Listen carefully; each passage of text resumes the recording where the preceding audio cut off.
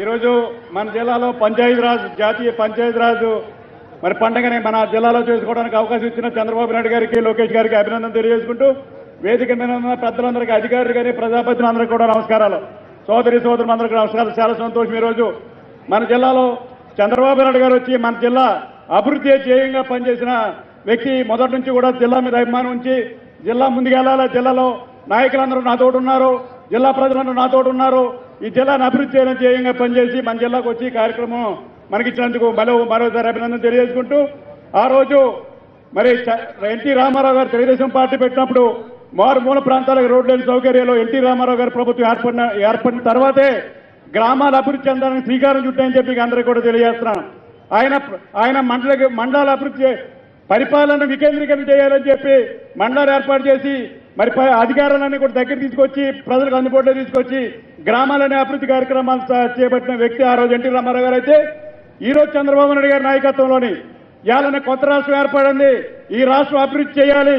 ఇవాళ మారుమూరు గ్రామాలన్నీ కూడా అభివృద్ధి చేయాలంటే మరి గ్రామాలు అభివృద్ధి చేయాలని చెప్పి కంకణం కట్టుకుని గ్రామాలకు కావాల్సిన అవసరాలు ఏంటంటే సిమెంట్ రోడ్డు కానీ ట్రైన్ కానీ మంచినీటి సౌకర్యాలు కానీ అంగన్వాడీ బిల్డింగ్ కానీ పంచాయతీ బిల్డింగ్ కానీ మరుగుదొడ్ల నిర్మాణం కానీ సామాజిక భవనాలు కానీ ఇవన్నీ కూడా ఏర్పాటు చేసి ప్రతి గ్రామం కూడా ఆదర్శ గ్రామంగా ఉండాలని చెప్పి ప్రతి గ్రామం కూడా అదే టైప్లో ఉండాలని చెప్పి ఇవాళ కార్యక్రమం చూపెట్టి తొందరలో ఆ గ్రామాల ఆదర్శ గ్రామాలుగా తీర్చడానికి మరి సంకల్పంతో పనిచేస్తాను చంద్రబాబు నాయుడు గారు చెప్పి అందరికీ కూడా తెలియజేస్తున్నాను.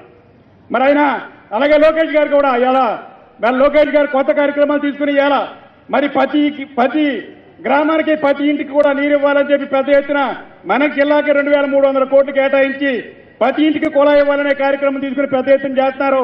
మరుగుదొడ్ల నిర్మాణం కూడా మన జిల్లా కలెక్టర్ ఆధ్వర్యంలో సెంట్ పర్సెంట్ చేసుకోవడం జరిగింది. రోడ్లన్నీ కూడా ఏడు వందల యాభై కిలోమీటర్ల రోడ్లు వేసుకోవడం జరిగింది.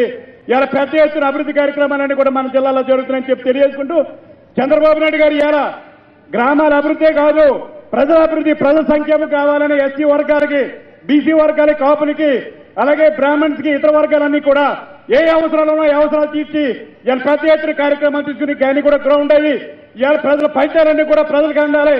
ప్రాంతంలో కూడా పైకి రావాలని చెప్పి ఎలా ఆలోచించుకొని పనిచేసి ఇవాళ ముందుకు వస్తారని తెలియజేసుకుంటూ ఇలా అనేక మంది మాట్లాడుతున్నారు ఇవాళ చంద్రబాబు నాయకత్వంలో. ఆయన ఒకటే కోరిక ఇలా గ్రామాలు అభివృద్ధి చెందాలి పేదవాళ్ళు అభివృద్ధి చెందాలని ఆలోచనతో ఉన్నారు.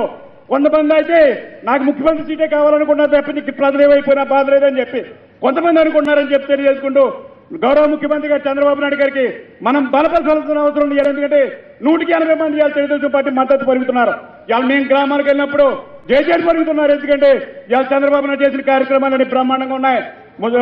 ఓల్డ్ ఏజ్ పెన్షన్ కానీ గృహ నిర్మాణం కానీ సంక్షేమ కార్యక్రమాలు అభివృద్ధి కార్యక్రమాలు కానీ ఇలా బ్రహ్మాండంగా జరుగుతున్నాయి బాబు. మీకే ఓటేస్తామని చెప్పి ఇలా ప్రజలందరూ చెప్తున్నారంటే దానికి నిదర్శనం చంద్రబాబు నాయుడు కష్టపడి ఇవాళ రాష్ట్రాన్ని అభివృద్ధి చేయడానికి చర్య తీసుకున్నారని చెప్పి తెలియజేసుకుంటూ సెలవు తీసుకున్నాను